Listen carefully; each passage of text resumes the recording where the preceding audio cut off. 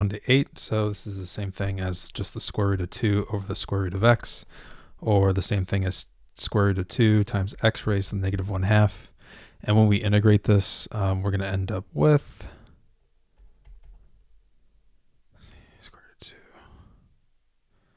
square root of 2 to x raised to the 1 half, going from 1 to 8.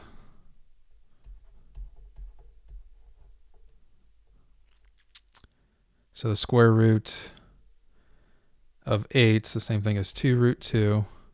And then square root of 1, or square root of 1 is just 1. So this ends up being 2 square root of 2 squared minus 2 square root of 2. 4. So that's 8 minus 2 root 2. That's it.